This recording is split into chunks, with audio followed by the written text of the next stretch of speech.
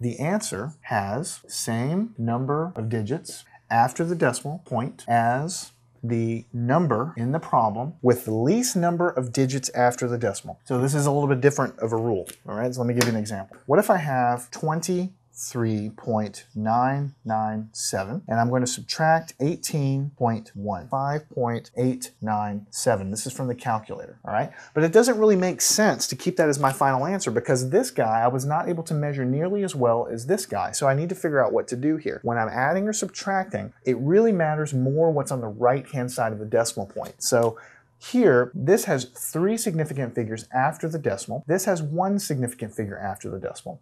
So the answer that I'm going to actually keep is 5.9. I'm going to round this up uh, right here. 5.9 with significant digits because this rounds up and I'm going to only keep one digit after the decimal. Learn anything at mathandscience.com.